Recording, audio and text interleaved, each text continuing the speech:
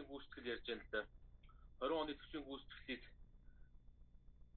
энэ зөвхөн 20 оны биш эрх баригч намын 16-аас 20 оны үйл ажиллагааны хөтөлбөрийн бас тодорхой хэсэг тийм дүгнэлт гүйцэтгэлийн үр дүнг ярьж байна гэж ойлгож байна. Тэгэхээр маш олон зүйл ярьж болох ч гэсэн эндээс тодорхой нэг зүйл 16-аас 20 онд ардын нам эрх баригч ардын намын засгийн газрын зүгээс 2100 гэдэг хөтөлбөр дэвшүүлжсэн. 21 амьд 100 үйлдвэр байна. Тэгэхээр энэ төсвийн гүйцэтгэл болоод олон зүйлээр энэ 21 амьд 100 өдөр байхын үйл ажиллагаа мөрийн хөтөлбөрийн амлалт болоод 20 оны үр дүнгээр юу болж гарсан бэ? Тодорхой хэсэг нь мэдээж эн чинь 100% төсвөөс хийх ёстой ажил бас биш.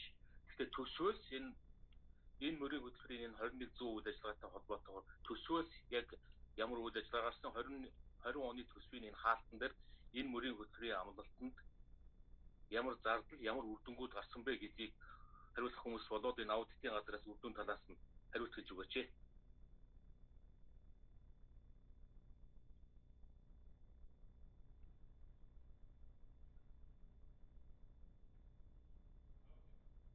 Аудит, ерөнхий аудит үүргийг төр орлон гүйцэтгэгч наран чимэг, цэвэг сүрэнгийн наран чимэг асуултанд хариулнаа.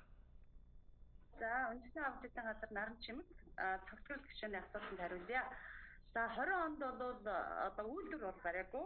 За улсын төсвийн хөрөнгө оруулалтаар 100800 суудалтай 30 сургууль, 8515 ортой 64 цэцэрлэг, 2145 ортой 22 дотуур байр, 642 45 ортой 22 эмнэлэг, 150 орны 9 км автозам, 659.6 м гүүрийн байгууламж, 326.1 м цахилгаан дамжуулах шүлжээ 4240 суудалтай 17 соёлын төв одоо тус тус ашиглалтанд орсон.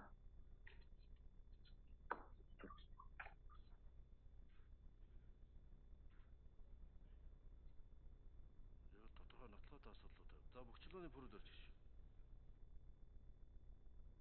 Зарлагын дэд тураа. За сая аудитын байгууллагын дарга хариулахдаа улсын төсвийн хөрөнгө оруулалтаар хийж байгаа төрийн байгууллагуудын барилгатай холбоотой хөрөнгө оруулалтуудыг ярьлаа.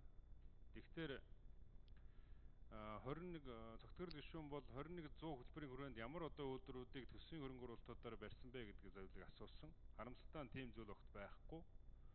Энийг бол жижиг дунд үйлдвэр болон хувийн хвшлийнхэн хийх ёстой тэргээ тэрнгээ жижиг дунд үйлдвэрийн салбарын жижиг дунд үйлдвэрийн сангийн хөрөнгөөр дэмжих ёстой байсан боловч харамсалтай нь Монгол Ардын намын гишүүд 50 60-аараа одоо энэ жидүүгийн сангаас мөнгөний аваад идсэн учраас энэ 21 100 хөтөлбөр огт хэрэгжиж өгөө гэдгийг хэлье.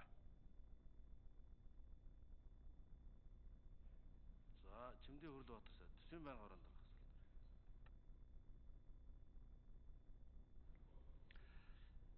За, энэ үйлдвэрийг улсын төсвөөр барьдаг энэ практик бол маш буруу.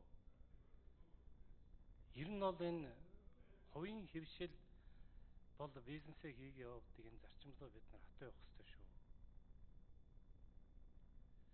За, ер нь тэр 100 үйлдвэр гэдэг нь агуулга нь юу гэхээр хувийн хвшлийг дэмжих замаар бид нар энийг бол бий болгоно гэж одоо үзэж явсан.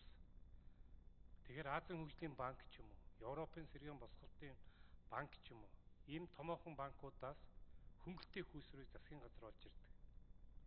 Үүнээс аж ахуй нэгжүүд зээл авдаг.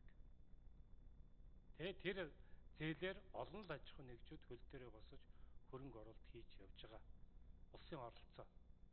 За дээр нь засгийн газар бол юун дээр анхаарах ёстой гэвэл зээлчих зэрэгэл дээр анхаардаг. 12-аас 16 оны хооронд Монгол улсын зээлчих зэрэглэл 3 шатлалтаар унсан.